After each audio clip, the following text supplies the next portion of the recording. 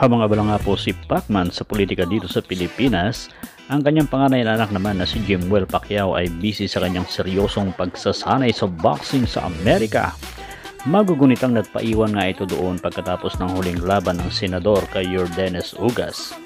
Mukhang determinado na talaga si Jimwell na sundan ang yapak ng kanyang ama at sa katunayan, napabalita nga na kamakailan ay uh, bukod sa training nito sa Wildcard Gym mula sa pangangalaga ni Coach Freddy Rhodes at Coach Marvin Samodio ay uh, tinuturuan din ito ng kampo ni Canelo Alvarez. Tama mga kaibigan or si Canelo mismo. Tumpak ninyong narinig mga katropa at mga kaibigan. At uh, meron tayong video tungkol dito. Ayan, kahit wag na nating patagalin yan, tirahin na natin yan in 3, 2, 1, here we go! Yan o. Oh. Kung ako nagkakamali, ito yung uh, trainer ni Canelo na si Coach Eddie.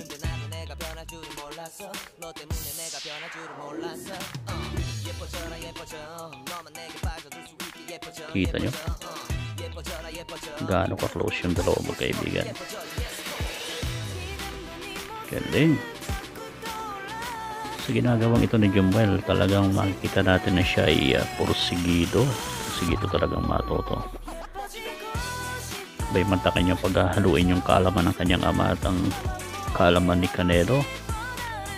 Naku po, matindi ang magiging resulta nito seryosohin mo lang Jamuel paniguradong hindi ka man maging 8 division world champion maging kalahati na lang o 1 4 na lang sa na-achieve ng iyong ama sabi napakalaking bagay na po yan.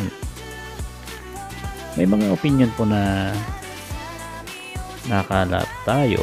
Sinasabing iba pa rin ang laki sa hirap no? Well maaaring may point sila.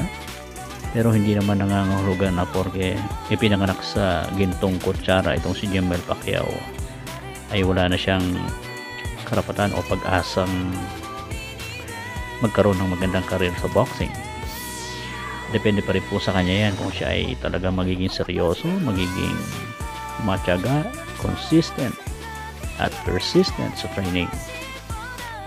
At siya ay talagang magkakaroon ng focus.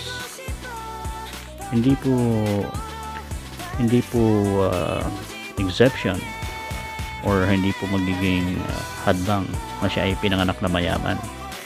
In fact marami pong mga may kaya sa buhay ang naging successful sa larangan ng boxing kung di po ako nagkakamali ano, sa aking recollection si De La Hoya ay uh, may kaya po yan Ryan Garcia may kaya rin po yan hindi po ba So, mali po yung sabihin natin na porque hindi laki sa hirap ay malabong magkaroon ng magandang career or success sa boxing.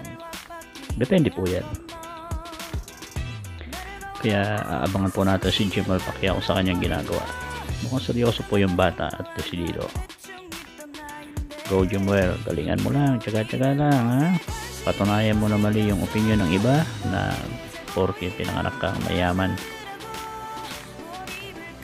ay uh, hindi ka na magiging matagumpay sa larangan ng boxing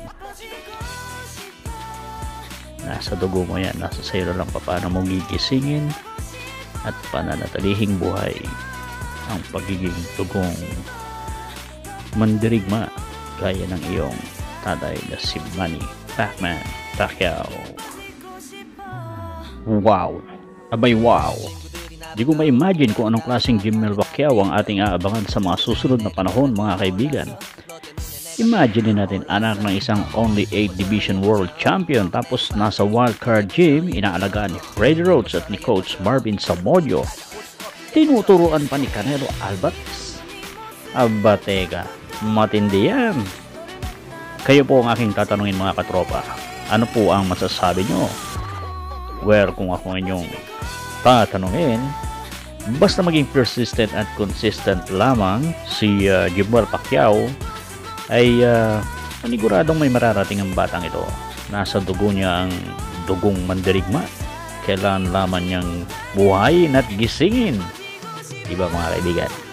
Alright, kung ano man po ang inyong opinion at ideya, mangyaring iwanan ng iyong comment at opinion at tatalakayin po natin yan sa susunod. Maraming maraming salamat po. Ingat po palagi. God bless us all.